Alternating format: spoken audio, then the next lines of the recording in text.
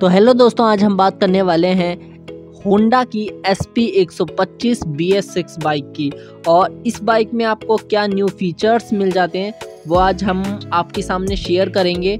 और इसका new look निकला है इसका 2023 में तो उस पर हम बात करेंगे और उसके फीचर्स के बारे में आपको हम बताएँगे।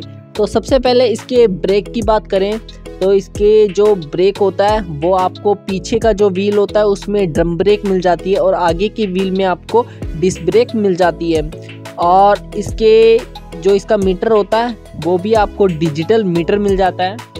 और इसका डिजिटल मीटर मिल जाता है आपको और इसमें सेंसर मिल जाता है आपको। और इस बाइक की बात करें तो इसमें सेल्फ की मोटर नहीं होती है। इसका जो कनेक्शन होता है, वो हमारे स्टार्टर से होता है। और इसके इंजन की बात करें तो 123 सीसी का इसका इंजन मिल जाता है आपको।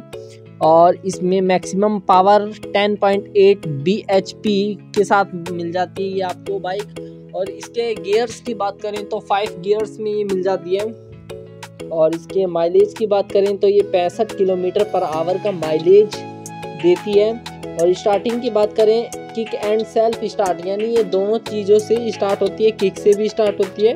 और सेल्फ से भी स्टार्ट होती है ये बाइक और जब आप इस बाइक को चलाते हैं तो इसके इंजन की पावर वो क्या है? बढ़ जाती है। और इसके अगर हम प्राइस की बात करें तो आपको ये eighty eight thousand two hundred four रुपये की पड़ जाती है शोरूम में। और इसमें आपको स्टार्टर बटन मिल जाता है, जिससे ये बाइक स्टार्ट हो जाती है। और इस बाइक में क्या है सेल्फ की मोटर नहीं लगाई गई है। यानी इसका कनेक्शन हमारा सीधा स्टार्टर से मैग्नेट से किया गया है। यानी कहने का मतलब है, इसमें सेल्फ की मोटर नहीं होती है। इसमें अल्टरनेटर करंट होता है, जो कि जब भी भी हम अपनी बाइक को स्टार्ट करते हैं, वो सीधा हमारे मैग्नेट पर जाता है और ये जो बाइक है, वो स्टार्ट हो जाती है। ठीक है?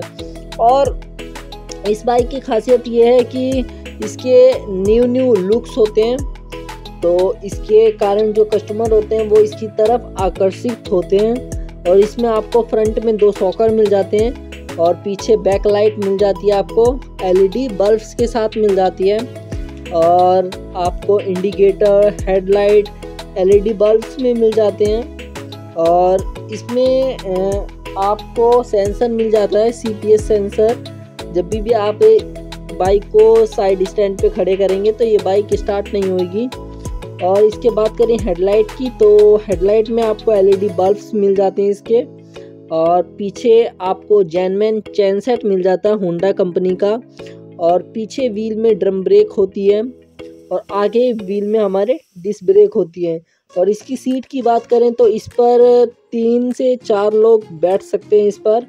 और इसके जो शॉकर की बात करें तो इसके जो शॉकर होते हैं, वो इस तरीके से बनाए जाते हैं जिससे जब भी भी कोई बड़ा गड्ढा आए रोड पर, तब जो गाड़ी है इसका बैलेंस बिगड़े ना। और इसमें आपको साइड स्टैंड मिल जाता है, सेंटर स्टैंड मिल जाता है आपको, इसमें चैन सेट मिल जाता है इसमें। और इसके लुक्स की बात करें तो इसमें फ्यूल टंकी मिल जाती है आपको। तो इसकी जो फ्यूल टंकी होती है वो 11 लीटर की मिल जाती है आपको। और आगे के जो व्हील होते हैं उसमें डिस्क ब्रेक मिल जाती है आपको और एक सेंसर मिल जाता है आपको। और इसमें आपको पूरी तरीके से ये अल्टरनेटेड करंट पर निर्भर होती है ये बाइक। और इसका जो प्राइस है वो आप